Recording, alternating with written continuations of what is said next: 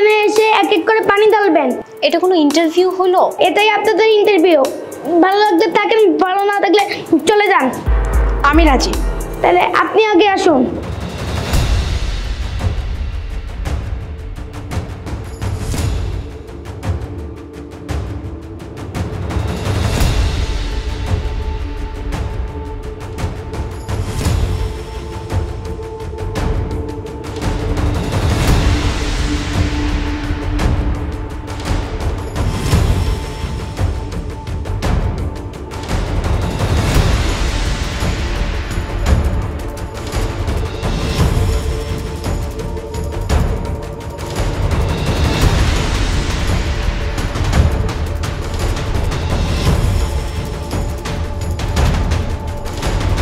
আমাদের এই ফার্স্ট রাউন্ডে বিজয় হয়েছে miss Muna.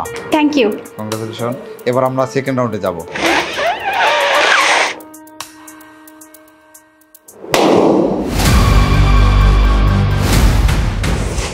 Baby are you okay হ্যাঁ আন্টি ঠিক আছে আমি। আচ্ছা আমি আমি করে দিই? না আন্টি লাগবে না থ্যাংক ইউ শিওর শিওর আচ্ছা তোমরা এভাবে হাসতেছো কেন হ্যাঁ? ও একটা বাচ্চা মানুষ ভুল হতেই পারে। তাই বলে তোমরা এভাবে হাসবা? থ্যাংক ইউ সেকেন্ড রাউন্ডের গেমটা হবে আপনাদেরকে তিনটা চেয়ার দেওয়া হবে এবং তিনটা বেলুন দেওয়া হবে। যে দীর্ঘ সময় ধরে এই বেলুনে বসতে পারবেন সে আজকের বিজয়ী হবেন। এই এটা কি ফাইজলামি নাকি? প্রথমে বললেন কি গ্লাস থেকে পানি ঢালতে এখন বলতেছেন কি চেয়ারের উপর বেলুন রাখবেন সেগুলো ফাটাইতে। এরকম জানলে তো ইন্টারভিউ দিতেই আসতাম না। আপনাদেরকে ডাকা হয়েছে আমার টেক কেয়ার করা যায় আমার যেভাবে ইচ্ছা আমি ইন্টারভিউ নিব।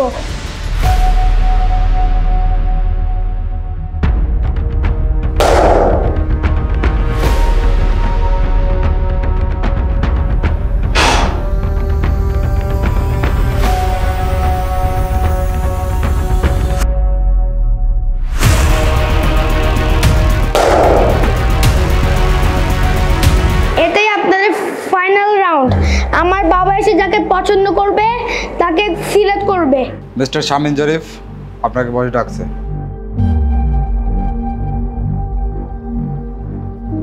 Sir may I come in yes coming বসুন। স্যার বসবো তো কিন্তু কাজ তো আমার এখানে না। কাজ তো আমার এখানে স্যার। এত কাছে আসছি না। দূরে যান দূরে যান। স্যার কি হয়েছে? আপনার জন্য একটু গিফট আনছি স্যার। হ্যাঁ, আমি তো এগুলো খাই না আর কি। স্যার বুঝে গেছি স্যার। আর রাখেন না স্যার। স্যার এইটা মনে করেন কি যে প্রথম অবস্থায় দিছি প্রত্যেক মাসে যখন বেতনটা পাবো না আরও একটা অংশ মনে করেন কি যে আপনার কাছে ঠিক ঠিক আছে। আপনি যান আমি দেখছি। ব্যাপারটা একটু দেখেন।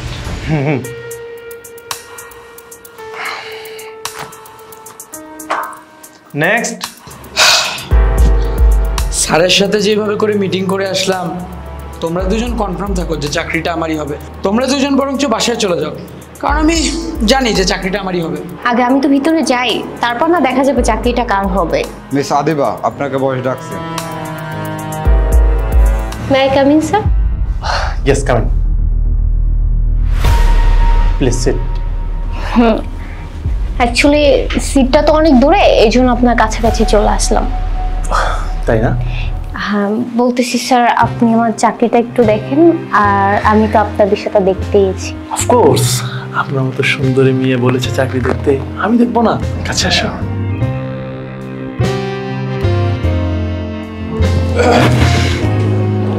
স্যার তাহলে আমার চাকরির বিষয়টা আপনি স্পেশালি একটু দেখেন। অবশ্যই অবশ্যই। আপনি বাইরে যান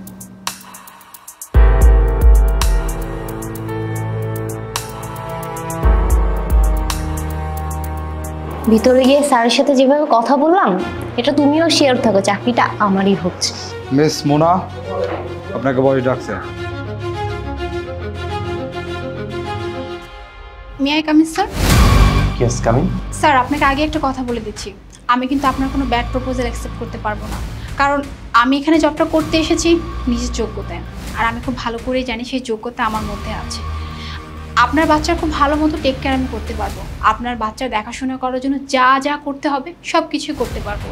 ইভেন আপনার বাচ্চার ঠিকমতো খাওয়া দাওয়া থেকে শুরু করে ওর ঘোরাফেরা, এমনকি ওকে ঠিকমতো খেলাধুলা করানো সব কিছু এমনকি এমনকি ওর এক্সারসাইজ পর্যন্ত আমি করে দিতে পারব। ড্রয়িং সব কিছু আমি করে দিতে পারব।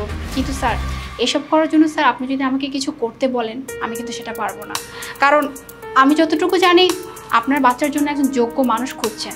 আর আমার মধ্যে সেই ক্যাপাবিলিটি আছে আপনার বাচ্চাকে ভালো মতো দেখাশোনা করার। তাই আমার দ্বারা অন্য কিছু সম্ভব না। ইটস ওকে বাট আমাকে তো খুশি করতে হবে। না হলে জবটা আমার পক্ষে পসিবল হবে না। জি স্যার আমি জানি। আমি যদি আপনাকে খুশি না করতে পারি হয়তো আমার জবটা হবে না।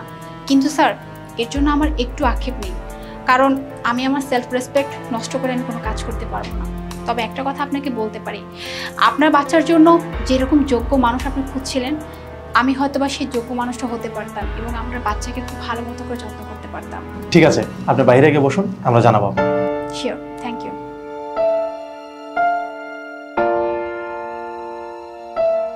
দেখছ মুখ যেভাবে করে কালো করে রাখছে দেখেই মনে হচ্ছে যে চাকরিটা হবে না। আর হবেই বা কীভাবে?